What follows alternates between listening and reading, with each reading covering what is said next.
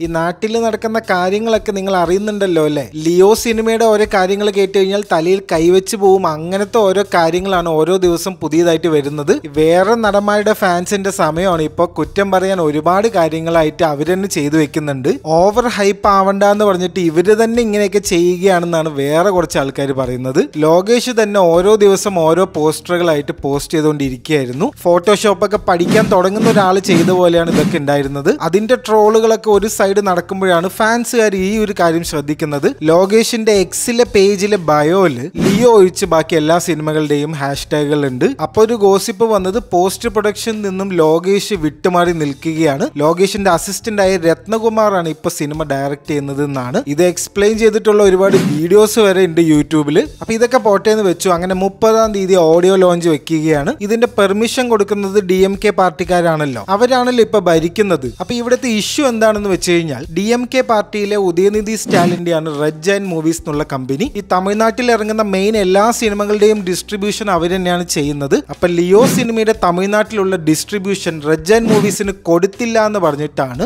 ഇവർക്ക് audio launch നടത്താനുള്ള permission ഇതുവരെ നൽകാത്തത് എന്നാണ് അൺഒഫീഷ്യലി വന്ന ഒരു ആരോപണം. ഇതേപോലെ എന്തെങ്കിലുമൊക്കെ കുറ്റങ്ങൾ പറയാൻ ഓരോ നാട്ടിൽ ഓരോ ആൾക്കാരുണ്ടാവും. അതുപോലെ അവിടുത്തെ ഒരാൾ പറഞ്ഞതാണ് ഈ കാര്യം. അപ്പോൾ തന്നെ പ്രൊഡ്യൂസേഴ്സ് ഒക്കെ വന്നിട്ട് ഇത് ഫേക്ക് ന്യൂസ് ആണെന്ന് കൺഫേം ചെയ്തിട്ടുണ്ടായിരുന്നു.